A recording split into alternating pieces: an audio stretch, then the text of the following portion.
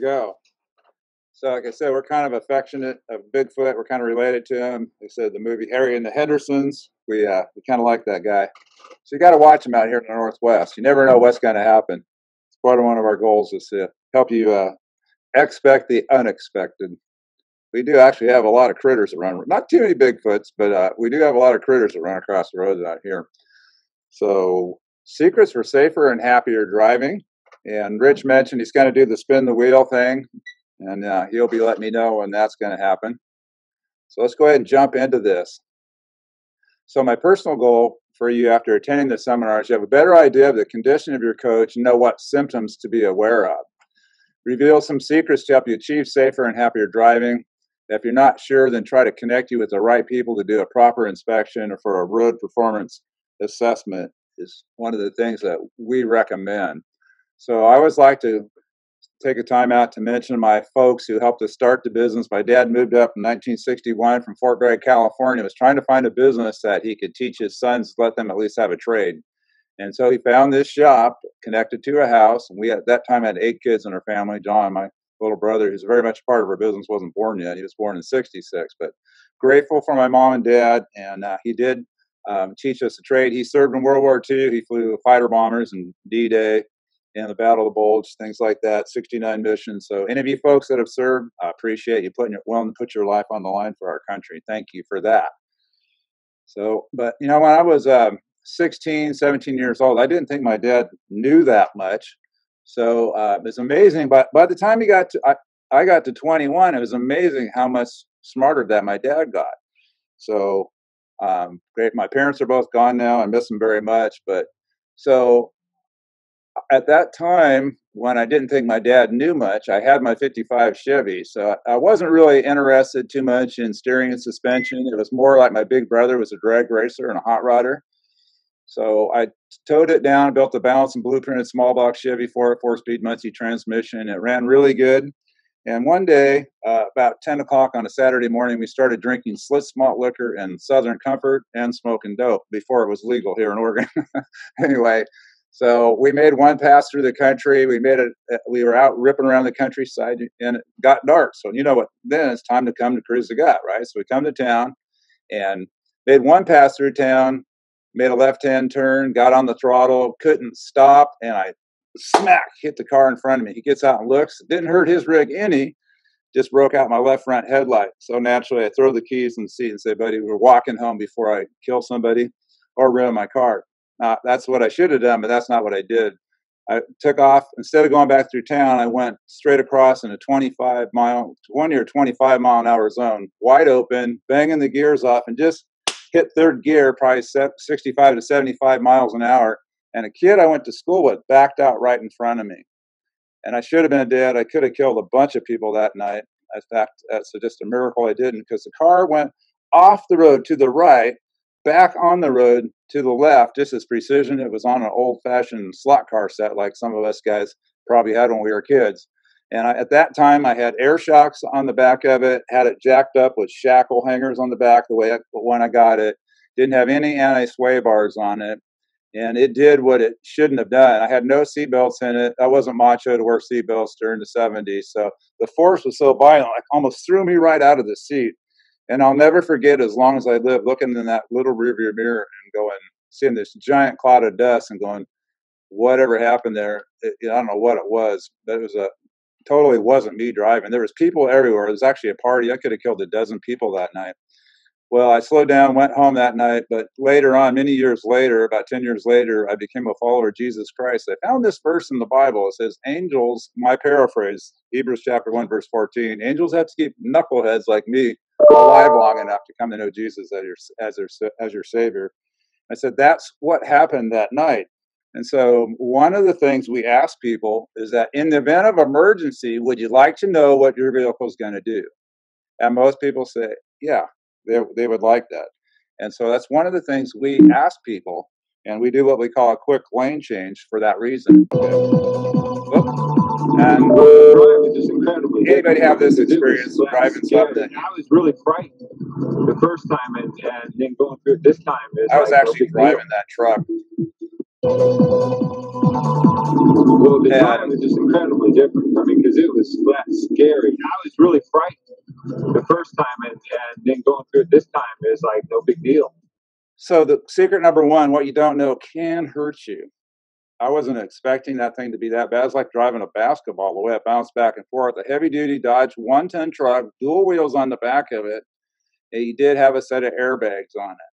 But he put his airbags on there with an onboard air compressor, bringing both of the lines up to the cab with a cab control. And it was allowing that air to transfer back and forth from side to side. And so what you don't know can definitely hurt you. That thing was, was like driving a basketball originally. And uh, this is another example what you don't know can hurt you. It's a semi with a dash cam on, motorhome trying to pass him, pulls over to the right, all of a sudden, left front tire blows, and there it goes. You can see the coach rolls over. And uh, that was a pretty new chassis. I believe that was a Freightliner diesel pusher.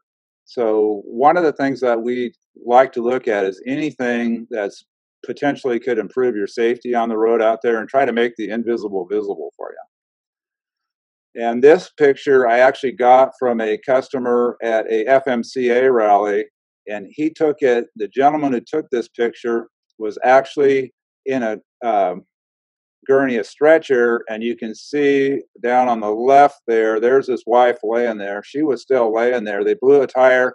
And the reason I wanted to bring this picture up to you is because this man who owned this motorhome maintained a fleet of trucks. That was his occupation. He was a professional who maintained a fleet of trucks. He knew the condition of his tires and everything, what it looked like. But um, I've had tires with uh, really low miles on them blow unexpectedly. So that's one of the safety things we like to address, and we like to use the, the, the right products for doing that.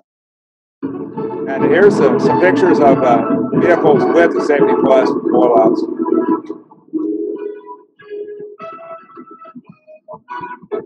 See how they're able to maintain their stay straight. This one I like because they stay in their lane around a corner as the tire blows. That to me is really impressive. Okay, in the beginning, why the RPA exists, and that's my brother John. We first started doing motorhomes back in the uh, 80s and um, early 90s. We would do one job one day and do the same job the next day. First day turned out great.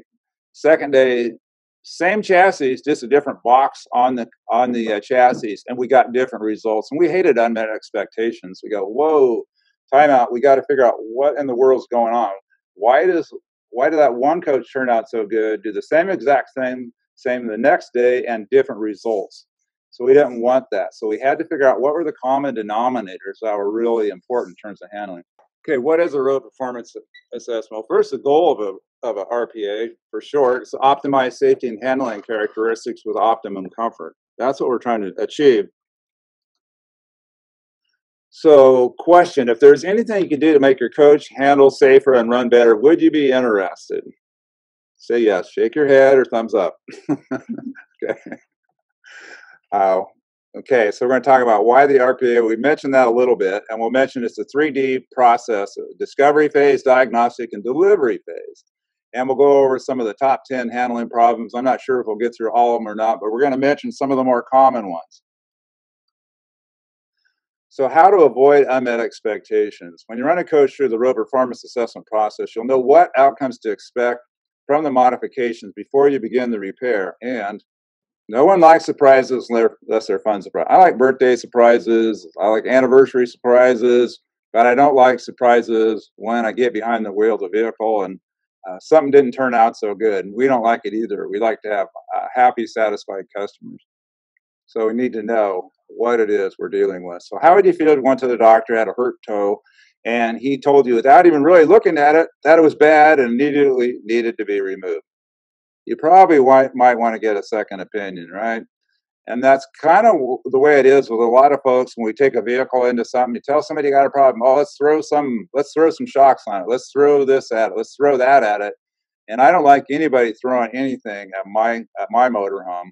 I like to know why I'm putting it on, what I can expect for it, and what's it going to do for me. Why do I really need this? So what's lacking is an accurate diagnosis. We say that's the difference between a problem solver and a parts changer. I want to show you this. Uh, for, uh, how many people uh, see motorhomes pulling the wheels the, off the ground? Now, for many of you that have had drag racing experience, you know that it takes a lot of horsepower to pull the front wheels off the ground.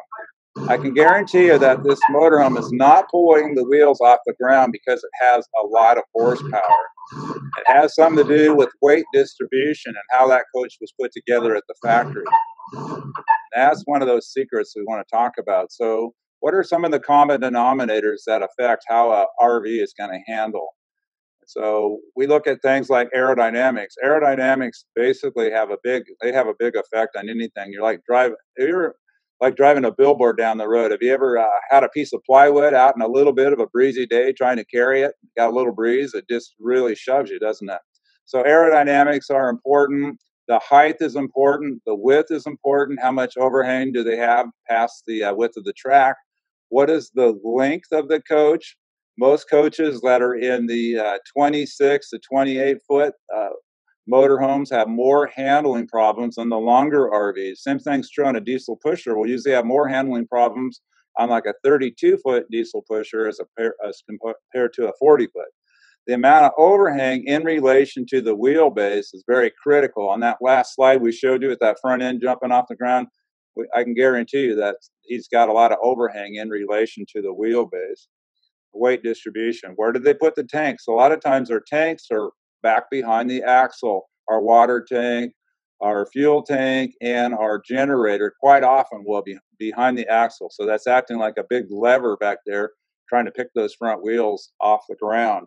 So you're driving down the road and a truck passes you and it feels like it wants to change lanes. So that's a good that's a good sign you don't have proper weight distribution. So again, I mentioned these early. We start out with the discovery phase where we want to know what your complaint is. Every person is different and every coach is different. We want to treat you as an individual and we want to treat your coach as an di- individual. There's so many varieties of floor plans, wheelbases, and overhangs, and everybody has their own driving preferences. What might drive somebody crazy might not be a big deal to somebody else. So, first we did the discovery phase, and then we move into a diagnostic phase, trying to diagnose what's going on with it. And then the third phase is the delivery phase, where you tell us what, if anything, you'd like to do about it. And then we go ahead and make those changes and go back out. And at the end, we'll go back out and verify we got the changes we were looking for. The form we use is going to look something like this. We're going to be measuring the amount of overhang in relation to the wheelbase. We're going to look at this percentage here. And this is uh, better than the average. The average gas coach is about 66% overhang. Average diesel, about 50%. We're going to look at that. We're going to look at the weight ratios. What's the rate, weight ratio? This number here on a, most Class A coaches, we want to see a minimum of 50% or more on the front axles. If we get down below that on Class A's, and it's even worse on a workhorse, there's any workhorse owners on here, we have to run at 55% or more to get proper handling because the front axle is so far forward. Class C's, we can run it down quite a bit less than that. We can get down closer to 40, 45%. They don't have the big body work up front. It's more like a smaller area for wind on the front, so we don't have to run as much on those. We also tell you where your tire pressure should be set based on the load that you're carrying. And you can see down here, we rate everything, all these steering and handling characteristics, including how the brakes work. We rate it on a scale of 1 to 10. After we get done making any changes that um, the owner authorizes, then we go back out and we re rate it again after that. I don't know what the customer's concerns are. In this case, gets blown around by trucks, passing, sways a lot when going around turns, constant correction, constant steering correction needed, rut tracking, white knuckle driving. So we want to get it on a variety of uh, uh, we want to get it on a road course that has a variety, some highway roads, some back roads, some curves, some bumps, some of the real world conditions. Because you know what we find? We find that on a flat, smooth road with no wind, no trucks, no ruts, almost any motorhome drives fine. But it's when you get in the real world with the real kind of highways that we have to deal with and real wind conditions, that's when all this stuff starts making a difference. Bumps, potholes, and scales are a very important part of the RPA process. So we like to, we're going to get those individual wheel weights and we're going to look at those numbers side to side, front to rear, and determine uh, where the tire pressure is, what the weight ratios are, and everything else. So What about you? What are some of the unique steering and handling problems you're experienced with your motorhome or RV?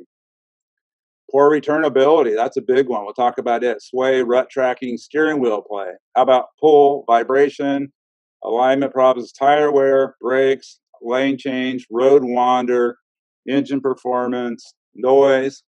Goodyear tire pressure specs. Here's any of you, uh, your major tire manufacturers will have charts that you can download off the internet, and they'll tell you how much air pressure you should be, be carrying based on a weight.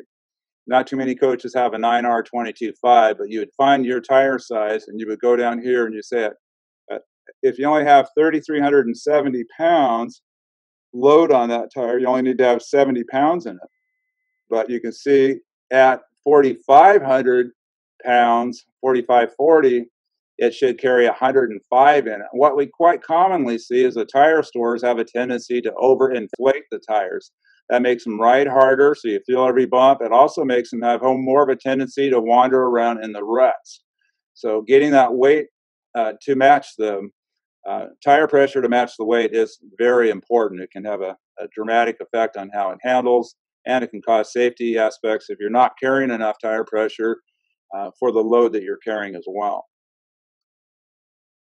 And one of the things that we always like to do is check for unusual tire wear.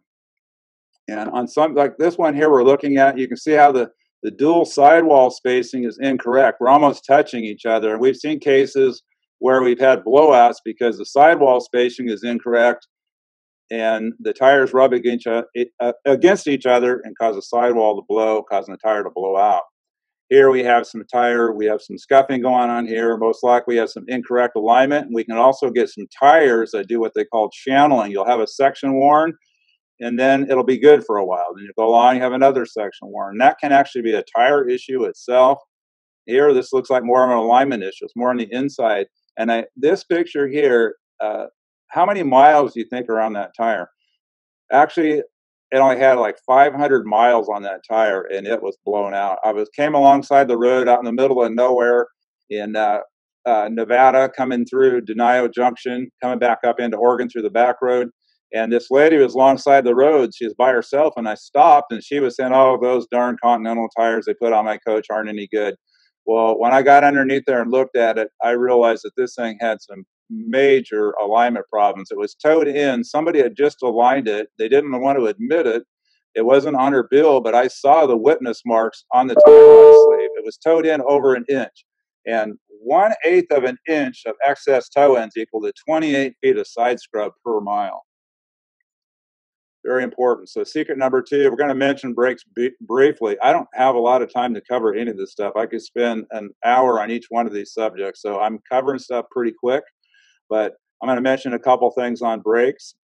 Understand your brakes before you need them.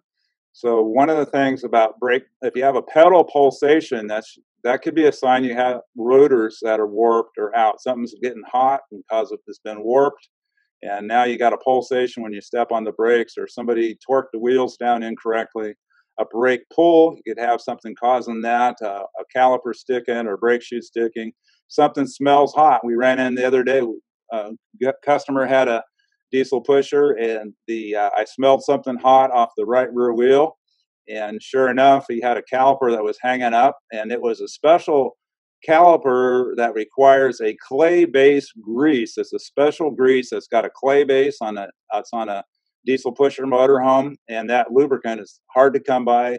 And somebody put the right kind of lubricant, wrong kind of lubricant on it. Noises. Um, if you have a if you have a noise and you think it might be your brakes, step on the brakes and see if the noise goes away, starts, or changes pitch.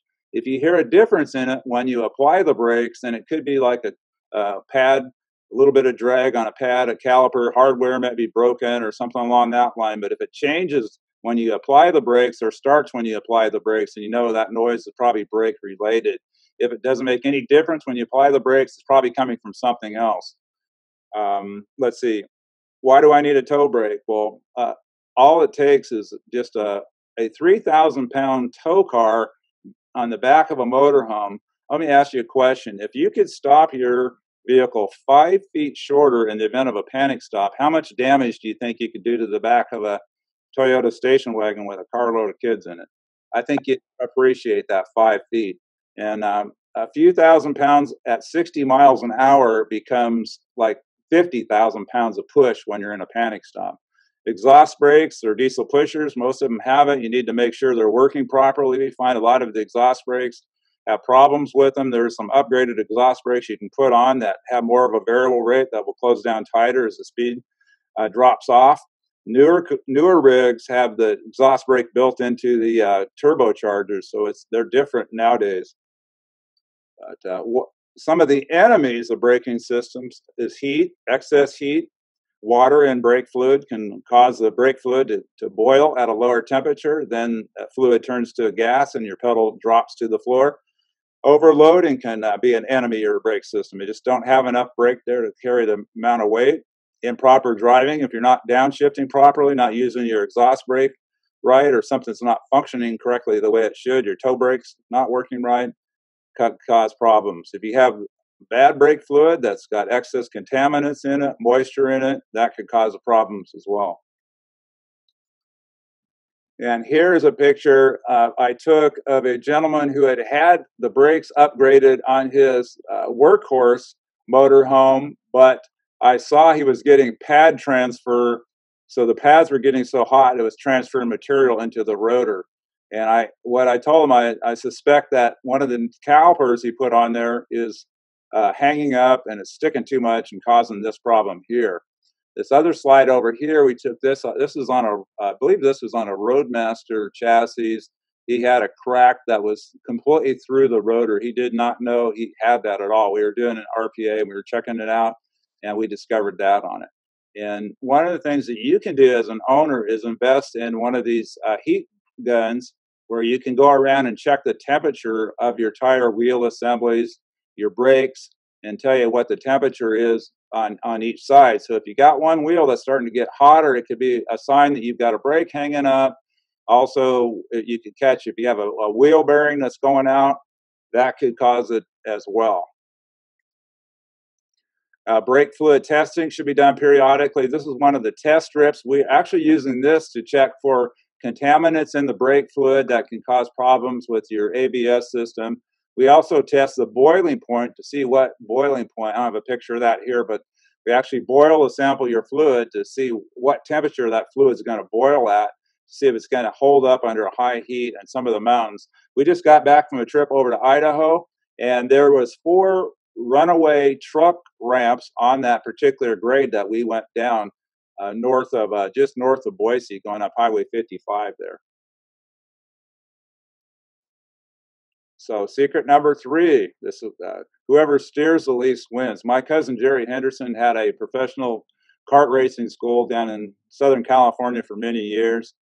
Uh, unfortunately, lost him to lupus, but he he had a saying that he said he said whoever steers the least wins, and I believe that's true also in RV because when you're working that steering wheel back and forth, it's exhausting, it's tiring, it's also scrubbing speed off because your wheel alignment's changing as you're working that wheel back and forth you're causing uh, more tire wear as well. So one of our goals, and we call our aftermarket part super steer because we're very concerned about the amount of play people have in steering, what we can do to eliminate as much of it as possible. So secrets to controlling steering play. And you know, our cars have rack and pinion steering in them, so they're very, very quick, very fast steering, and we have basically zero play in them. So what causes that? You can have loose parts, you can have a steering gear that's out of adjustment. Many of our steering gears are adjustable, and you can adjust the play out of them. You have to be careful with that because you can cause other problems if you don't know what you're doing when you're adjusting them. A lot of the steering gears out there are not adjustable, like the Sheppard steering gear and the ZF steering gear. And I call them what you see is what you get. So you can get a great steering gear or you can get a bad one right out of the gate. Quite often, most steering gears, if there's a problem, they're usually bad from the get go. So if you buy a new vehicle, a new coach, and you feel like there's there's a lot of play on this, you ought to get it checked because there's a possibility you could get that gearbox replaced under warranty. We make a part called the Super Steer Bell Crank. It was the first part we ever made for the General Motors P chassis, and we went to a tapered roller bearing design instead of a bushing design, which eliminated all the play out of it. This one over here is for the Freightliner XC chassis. We use again double tapered roller bearings to replace the bushing design that Freightliner uses on those.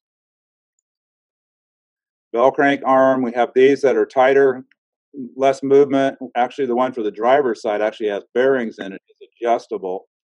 We sell a lot of those still, even to this day, we still sell a lot of those. But anything that has play could be, actually, I ran into the nut here on the steering wheel loose. One time I was out driving a lady's motorhome and I felt something hit my foot and I looked down and it was a nut and she had a custom steering wheel from the factory on it, had about 10 bolts on there and about half of them were loose and uh, ready to fall out of there. And I said, well, if you keep driving it like this, you're going to have your friends. You want to take the wheel? You'll be able to take it and hand it to him. so um, anyway, want to look, we look for play at any point in that system.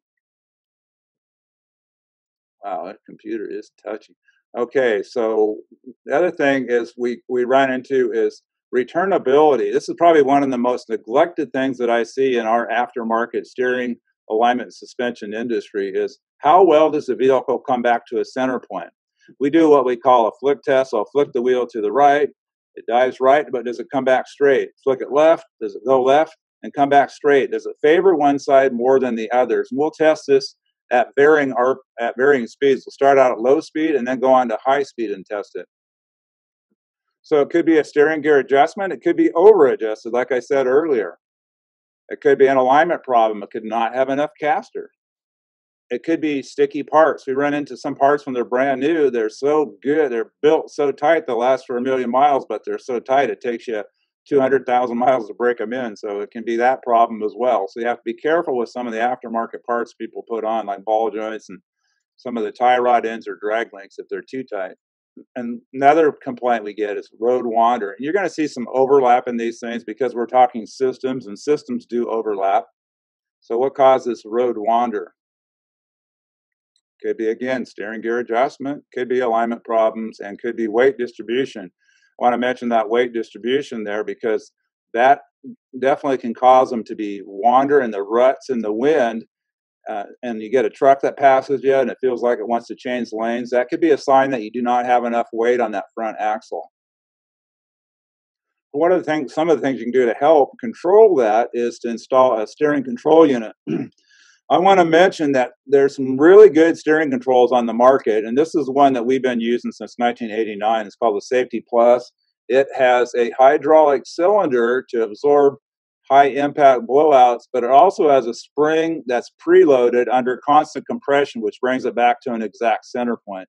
Very positive center and really helps you keep tracking straight.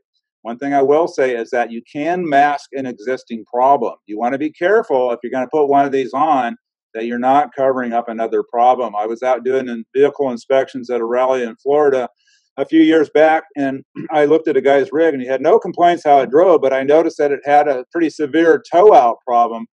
and I asked him um, if he'd had any complaints. Nope, nope. I said, "Do you realize your tires are wearing out?" And he said, "Nope." And because that steering unit was on there doing such a good job, he was wearing his tires out, and he didn't even know it. So be careful when you install one of these that you're not covering up an existing problem. This is on a Ford F-53 motorhome, and we own one of these. And they're sometimes some of the worst handling problems are on these Ford F-53 gas chassis. You can see the spring moving in and out, back and forth. The leaf spring. This is the, the left front leaf spring on that chassis. Can also see the bushing moving a lot up here. How much plays in that bushing? So we had our motorhome handling really good, but when I went down the road, I still felt like I was moving the steering wheel a lot. And I told John I knew what was going on because we could see it when we were doing our inspections. We knew the springs were wrapping up. We knew they were moving in the bushings. And so what we did was John built a radius rod kit for it, which attaches to the axle and goes up here to the frame in the front and it really helped it out a lot. We found out that it also helped control sway and body roll, which I didn't expect it to do that. But we found these leaf springs were narrow; they're only a three-inch spring on a 24 and a 26K Ford. They're only three inches wide. The, the 22K, they're actually four inches wide, but nonetheless, there's a lot of movement in these bushings and they were twisting. So we found out they help control steering play, wind buffeting, road wander, and rut tracking. And this is a brand new product for us. We've just started production on these, and we've had some Ford owners that are absolutely thrilled about that. We're also showing here our new SuperSteer anti-sway bar. We take the original Roadmaster sway bar, take all the heat treat out of it, and bring it down to zero, and then we bring it up to a through heat treating the whole way through the whole bar, and it's about 30 to 40 percent stronger than the Roadmaster inch and three quarter bar. We've rechanged all the end links on this, and we build them a new one for the rear that's actually a two inch anti sway bar with uh, heavy duty shackle hangers on it as well to help control that that sway that you get in and out of driveways. Number four: expect the unexpected. So, how many been driving along? All of a sudden, you got a big, heavy blast of wind out of nowhere, and you didn't see it coming. Anybody besides me have that happen? I wish my wife was here to tell her story. Uh, we got a just a terrible wind came out of it in Nebraska one time. In fact, it blew a uh, trailer and took out the, the whole road was shut down because it took a semi and laid it across the road there in uh, Nebraska, just outside of Winnebago, Nebraska, which is not where they build the motorhomes. But expect the unexpected. So crosswinds.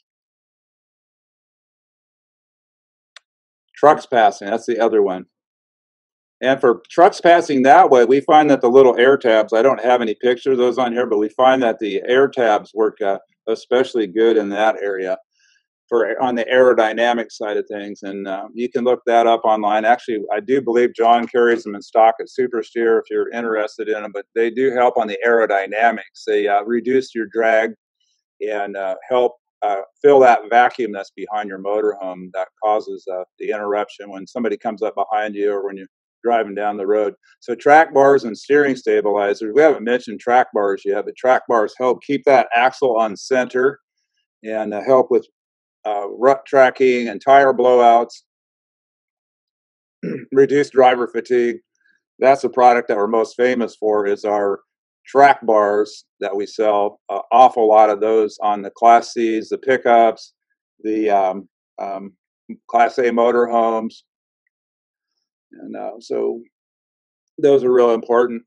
Uh, okay, secret. Let's move on to sway. So we call this, they affectionately call it the Walmart wobble, pulling in and out of Walmart driveways. You get that kind of side movement. And with an anti-sway bar, you can see what's happening. This coach is going around a corner. The centrifugal forces are pushing the wheel down on this side. At the same time, it's trying to lift over here on this side. So what an anti-sway bar does, it's the the diameter of it's important because the larger the diameter, it's going to hold want to hold this wheel from lifting up off the ground. For every eighth of an inch you increase your sway bar diameter, you get another 30% more roll stiffness. so inadequate sway bars can cause sway, weak springs can cause sway, worn out shock absorbers, bad sway bar bushings can cause it, we see quite a bit of sway bar bushings just given out under these all the pressure, especially on the Ford Class A. There's so much sway in that particular chassis.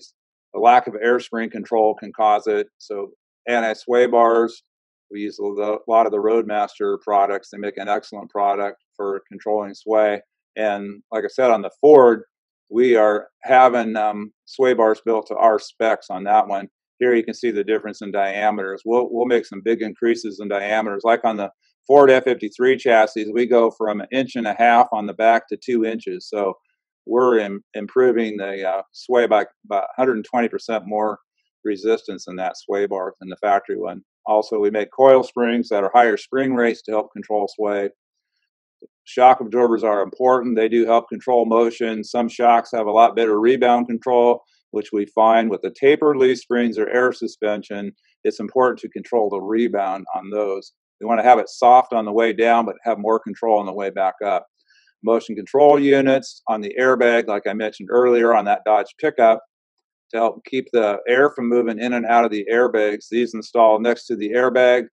We want to keep these. We, the goal is to try to keep them within six inches from the airbag. They will work even at a further distance, but the goal is to try to limit that movement as quick as we can so it doesn't unload one side and load up the other side simple to install, good clean cut. You got to check them for leaks once they're installed. Uh, a guy called me said his dolphin was porpoising, so we uh, we said he had an identity crisis there.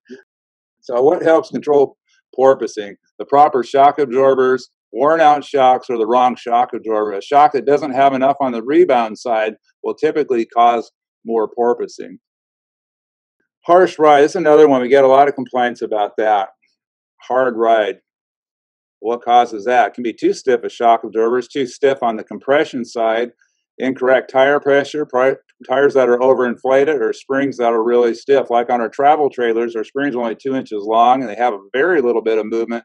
They ride very hard.